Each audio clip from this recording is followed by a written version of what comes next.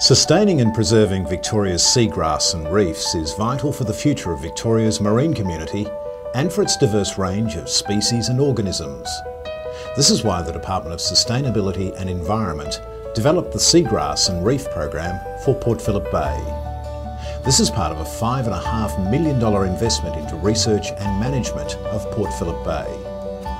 In line with this, DSE has developed the Seagrass and Reef Literature Reviews, which have been completed as part of the Marine Research Studies component of the program. These literature reviews are the first step to further understanding seagrass and reef habitats in Victoria and will provide a foundation for building on the marine research studies still to be delivered through the program. Our goal for this program is to leave an enduring legacy with an improved environmental management of Port Phillip Bay. The Seagrass and Reef Literature Reviews have contributed to improving our current understanding of these habitats However, there is still much to learn.